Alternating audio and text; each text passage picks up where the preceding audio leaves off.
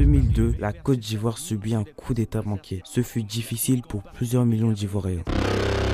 Mais en 2002, c'était aussi les débuts d'une future légende nommée Didier Arafat. Je vous raconte son histoire. L'enfant béni, c'est vraiment la série les gars, la série qu'on ne savait pas qu'on avait tous besoin.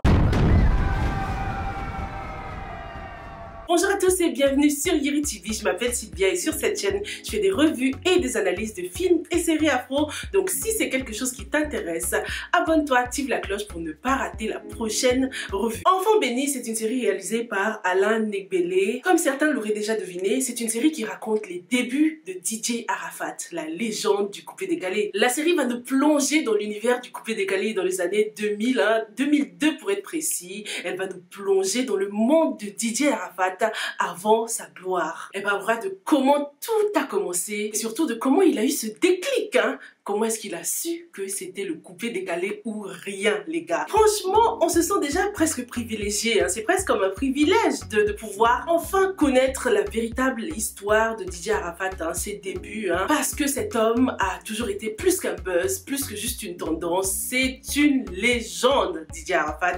Donc je suis très très contente que quelqu'un ait enfin eu la bonne idée de faire une série sur ses débuts. Qui dit début dit jeune. Arafat était très très jeune à ce à cette époque-là. Il a donc fallu trouver un jeune homme pour interpréter ce rôle. Qui de mieux que son fils, Maël Ouan? Faut dire que la ressemblance est frappante. Ils se ressemblent comme deux gouttes d'eau, les gars. C'est un casting parfait. Pourtant, Maël n'était pas le premier choix du réalisateur. Hein. Sincèrement, je pensais pas à toi. J'écrivais sans forcément penser à l'acteur qu'elle a interprété en fait. C'est quand je l'ai vu pour la première fois au Plumon Hôtel, c'est là que il y a eu un déclic. J'ai dit non, faut que ce soit lui.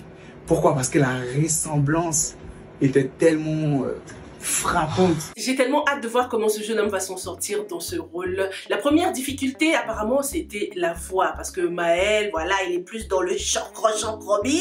Il a fallu qu'il travaille un peu son chien pour encore plus ressembler à son père à cette époque-là. Maël sera-t-il à la hauteur? Maël, on veut pas trop te mettre la pression, hein, mais voilà, il y a quand même de la pression par rapport à ce rôle. Surtout que Maël fait ses débuts dans le cinéma. Mmh, la pression de sa premier rôle une légende comme ça.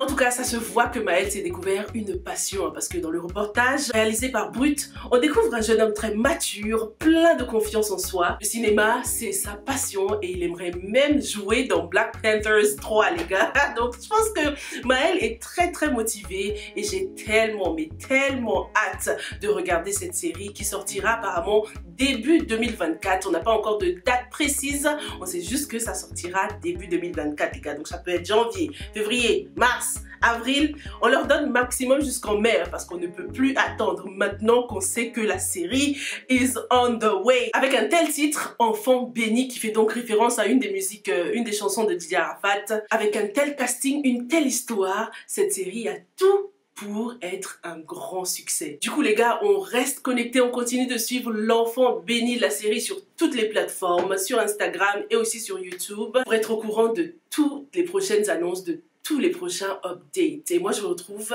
très prochainement dans la prochaine revue. Stay safe and stay blessed. Bye